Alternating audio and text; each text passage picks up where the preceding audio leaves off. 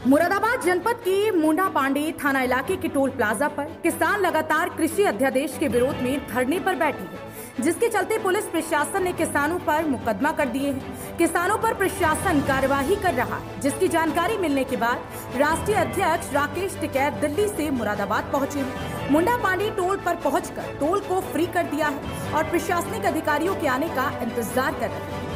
मुंडा Pandey toll plaza पर राकेश टिकैत के पहुँचते ही किसानों ने राकेश टिकैत का स्वागत किया। भारतीय किसान यूनियन के जमकर नारे लगाए और टोल प्लाजा को फ्री करा राकेश टिकैत से जब पूछा गया कि वो किस लिए मुरादाबाद पहुँचे तो उन्होंने जानकारी देते हुए बताया कि वो उत्तर प्रदेश में भी किसान प्रोटेस्ट कर रहे हैं तो पुलिस ने परेशान कर रही है। जिला प्रशासन ने किसानों का मुकदमा कर दिया है। इसलिए हम यहाँ पर आए हैं। हम चाहते हैं कि किसानों की गिरफ्तारी हो। प्रशासन गिरफ्तारी तो करे। यह लोग जिस जगह पर प्रोटेस्ट कर रहे हैं, पुलिस इन्हें परेशान कर रही है। धूप में किसानों को बैठा रखा है। ना तो यहाँ पर पीने के लिए पानी है, ना ही लाइट है, ना कोई व्यवस्था, जिससे किसान बेहद परेशान है। लगातार यहाँ पर किसान आठ दिनों से आंदोलन करता रहा है और चलता ये आंदोलन रहेगा। जब तक सरकार यह कानून वॉशिंग नहीं लेगी जब तक सरकार यह कानून वापस नहीं लेगी किसान प्रोटेस्ट करते रहेंगे हाईवे पर क्या उन्होंने कहा है और क्या कुछ आपको कहकर गए हैं? क्या वार्ता हुई? देखिए हम 27 तारीख से लगातार एन एस ट्वेंटी फोर मूडा पानी टोल प्लाजा बैठे हुए हैं। परंतु शासन प्रशासन की हठधर्मिता ने इतना दुखी कर दिया किसान को इतना दुखी कर दिया कि उन्होंने बिजली पानी नहीं दिया तो हमने इस चीज़ के लिए टिकैत साहब से शिकायत करी।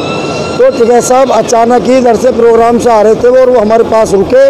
रुकने के बाद में उन्होंने हमें दो लाइनें दो लाइनें हमको दे करके गए और ये कह के गए कि अगर शासन, प्रशासन तुमसे छेड़खानी करता है, तुमको दबाता है, हड़काता है, जेल में भेजता है तो इनके टोटल उत्तर प्रदेश के जितने भी टोल प्लाजा हैं, सारे के सारे फ्री करवा दिए जाएँगे। अगर सरकार ने किसान को हल्का सा भी कहीं दबाने की कोशिश की, अब सरकार के सामने किसान दबेगा नहीं।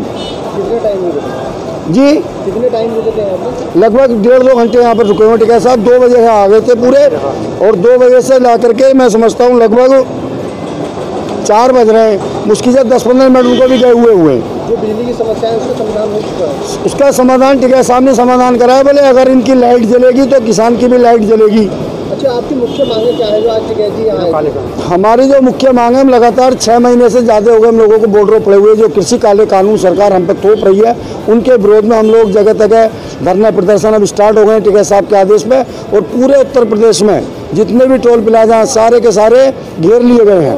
कब तक चलने वाला है ये तो आप पहले दिन से देख रहे हैं बिल वापसी नहीं तो घर वापसी नहीं। आप क्या मांग करना चाहेंगे सरकार? नहीं सरकार से तो हम यही मांग कर रहे हैं कि हम भी किसान हैं हम भी घर जाना चाहते हैं हमारे भी बच्चे हैं कि जल्दी से जल्दी किसान के जो विरोधी कानून है इनको वापसी करे और किसान को स्वतंत्र करे किसान अपने घर चला जाए। अच्छा प्रशासन जो है यहाँ पे तानाशाही अरे साहब, तानाशाही तो इतनी है सत्ताईस तारीख हम लोग यहाँ बैठे दो घंटे हम लोगों को धूप में बैठना पड़ा, परंतु यहाँ की जो कहते हैं ना, वो शासन प्रशासन है, वो कॉरपोरेटरों के हाथों बिका हुआ है टोटल बात जो करता है, वो कॉरपोरेटर करता है, किसान की बात करता ही नहीं है। प्रशासन के बारे में क्या कहेंगे तो नहीं प्रशासन के प्रशासन के बारे में हम यही करेंगे कि प्रशासन हमारी सुरक्षा के लिए देश को चलाने के लिए होता है ना कि तानाशाही के लिए। अगर हमारी मांगें गलत हैं तो उस चीज़ को बता दो।